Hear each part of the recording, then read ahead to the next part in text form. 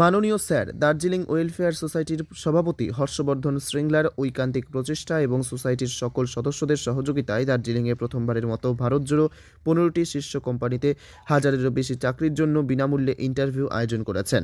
এই সাক্ষাৎকারটি দার্জিলিং এর হোটেল সমিশ্রী স্যান্ডারলিং রিসর্ট এবং স্পা জিমখানা ক্লাবে অনুষ্ঠিত হলো প্রথম দিন, যেখানে সকাল সাড়ে সাতটা থেকে চাকরি প্রার্থীরা বিভিন্ন কোম্পানিতে চাকরির জন্য ইন্টারভিউ দিয়েছেন।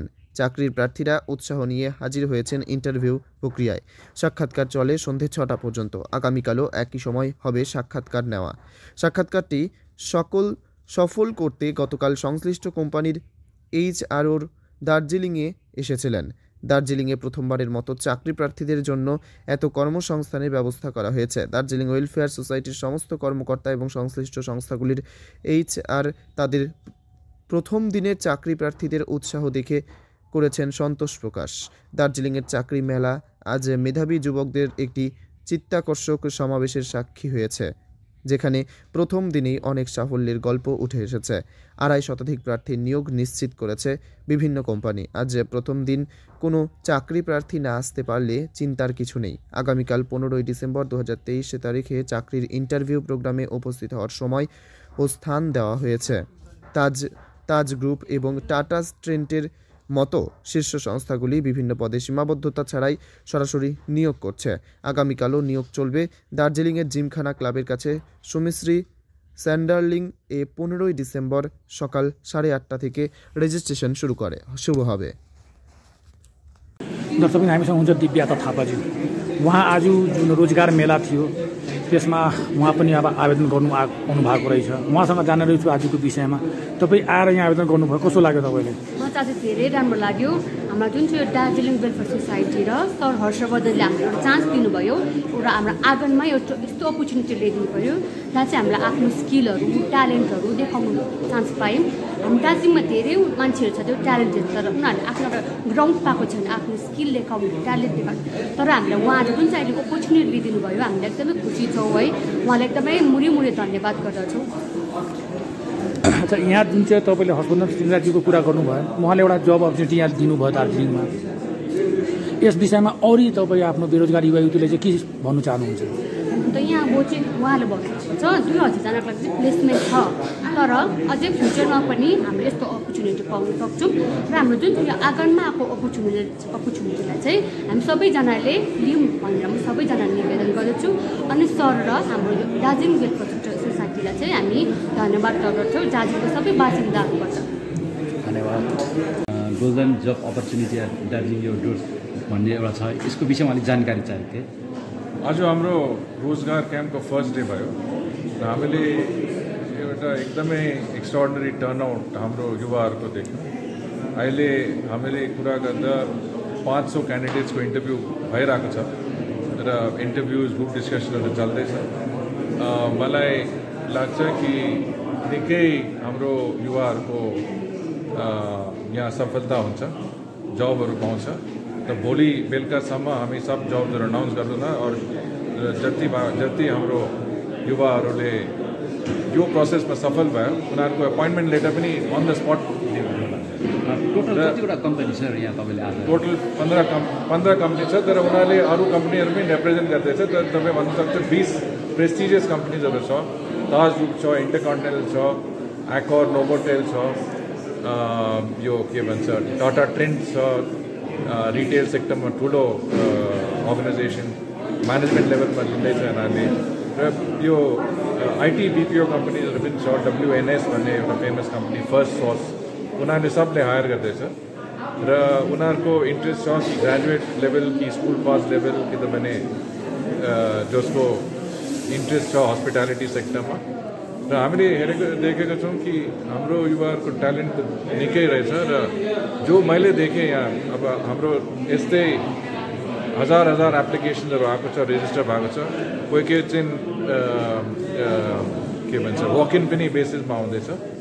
र एकदमै राम्रो माहौल छ हाम्रो यहाँ तपाईँले देख्नु भएको छ सबैलाई हाम्रो क्यान्डिडेटलाई टी कफी लन्चको पनि व्यवस्था छ त। के हाम्रो युवाहरूलाई के दुःख छैन यहाँ? र मेरो त यही आइडिया हो कि इम्प्लोइमेन्ट एउटा धेरै ठुलो दार्जिलिङमा समस्या छ।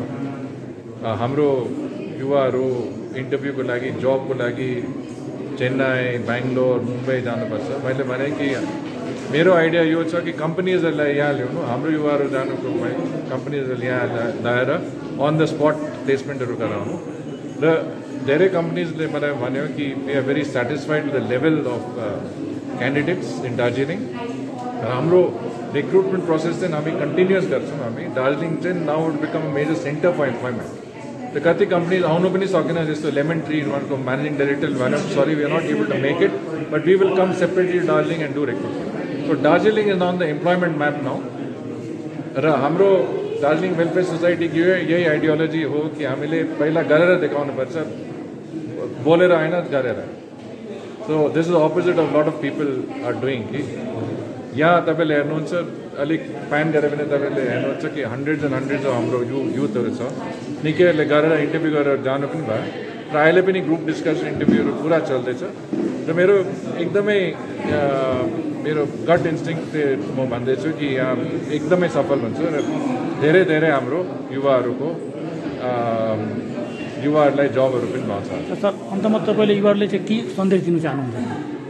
युवाहरूले चाहिँ अब च्यानल माध्यम चाहिँ के सन्देश दिनु चाहनुहुन्छ? होइन युवाहरूलाई त म त्यही भन्छु कि अलिक बोल्ड भएर आफ्नो बारेमा कि तपाईँले आफ्नो सोच विचार सेयर गर्नु हेजिटेट नगर्नु क्लियरली भन्नु। त्यही मैले भनेको थिएँ हाम्रो युवाहरूलाई उनीहरूलाई मैले गाइड गरेको थिएँ कि कसरी इन्टरभ्यू प्रोसेस कसरी ग्रुप डिस्कसनमा पार्टिसिपेट गर्नु कसरी सफल हुनु।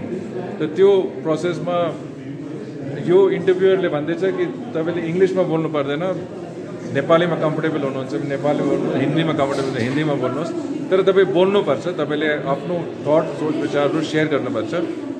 स्पेसली ग्रुप डिस्कसनमा ग्रुप डिस्कसनमा त आफ्नो जो थट छ त्यो चाहिँ एकदमै सेयर गर्नुपर्छ क्लियरली सेयर गर्नुपर्छ त्यो मैले सन्देश दिएँ यो हाम्रो युवाहरूलाई मिनिमम एजुकेसन क्वालिफिकेसन कति छ मिनिमम स्कुल पास लेभलमा निकै कम्पनीहरूले स्कुल पास लेभलमा पनि लिँदैछ ट्रेनिङहरू गरेर उनीहरूलाई रिटेल थुप्रै एरियामा जब पनि पाउँछ कतिवटा क्याटेगोरीमा जब चाहिँ थुप्रै क्याटेगोरीमा छ अब हस्पिटालिटीमा हेऱ्यो भने म्यानेजमेन्ट ट्रेनिङ लिँदैछ उनी उहाँहरूले ताज ग्रुपले पनि म्यानेजमेन्ट ट्रेनिङ लिँदै इन्टर कन्टेन्ट म्यानेजमेन्ट ट्रेनिङ लिँदैछ तर एफएनबीमा किचन सर्भिसमा यो के भन्छ ह्युमन एचआरमा सबै एरियामा लिँदैछ जहाँ एप्टिट्युड छ जहाँ क्यान्डिडेटको अलिकति ट्यालेन्ट छ त्यो एरियामा लिँदैछ एकदमै वाइड एरियामा ताजले भने मैले कमसेकम तपाईँले तिन सौ क्यान्डिडेट यहाँ आज नै रिक्रुट गर्नुपर्छ भनेर उहाँले भने हाम्रो लिमिट छैन we can take more than that हुन्छ क्यान्डिडेट पायो राम्रो क्यान्डिडेट पायो लिएर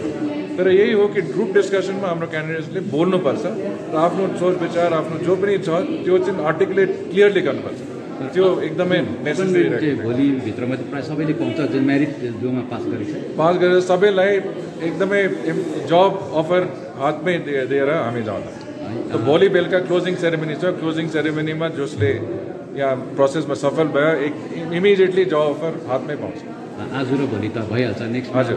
त्यो कहिले सोच्नु भएको छ कहिले दिस टाइप अफ प्रोग्राम? अब यो हेरौँ कसरी जान्छ। राम्रै भयो भने जस्तो जस्तो मैले तपाईँलाई भने कन्टिन्युस प्रोसेस हुन्छ। कम्पनीजहरूको एकदमै इन्ट्रेस्ट भयो। दिलचस्पी एकदमै बढ्यो। पहिल्यै बार तपाईँलाई थाहा छ यो त कहिल्यै भएको छैन। यस्तो यस्तो इम्प्लोइमेन्ट इम्प्लोइमेन्ट त मेन इन्ट्रेस्ट हो हाम्रो युवाहरूको लागि। कसरी गर्नु कसरी यो बढाउनु कसरी इम्प्लोइमेन्ट दार्जिलिङमा ल्याउनु त्यो मेरो इन्ट्रेस्ट हो र त्यही म गर्दैछु। धन्यवाद धन्यवाद। है